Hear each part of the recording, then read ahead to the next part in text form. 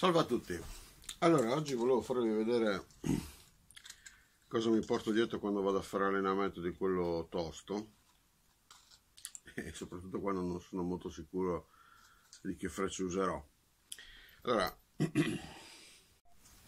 allora prima di tutto all'interno ci sono le frecce di Van Gerven da 21 da steel poi ho le, le frecce di Barney da 19 con la punta in steel sì, quella di ferro praticamente. Questo qua è l'altra di Van Gerven di 18 con la punta in ferro ma sarebbe una freccia soft sia questa che quella di Barney però le uso lì.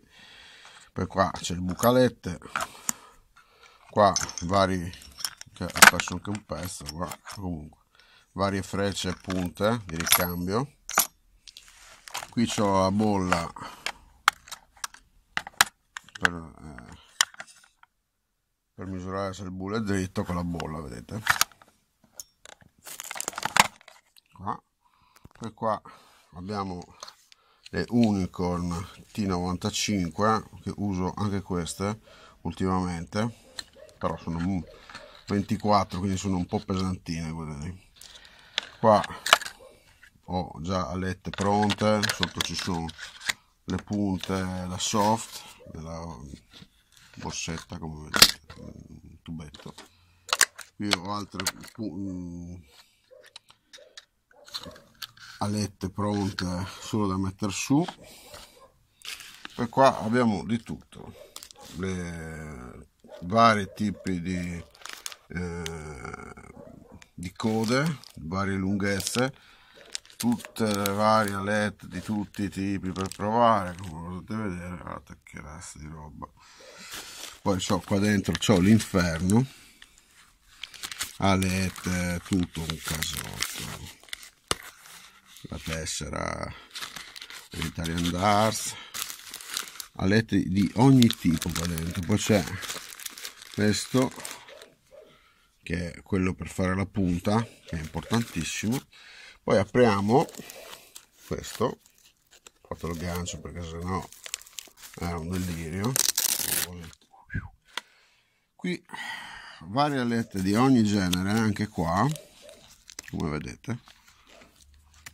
Della, sono quelle di Van Gerven ci sono quelle della Target quelle di Raymond Van Barneveld poi c'è questa letta fighissima che non ho ancora mai usato ma ho preso tre paia non so perché.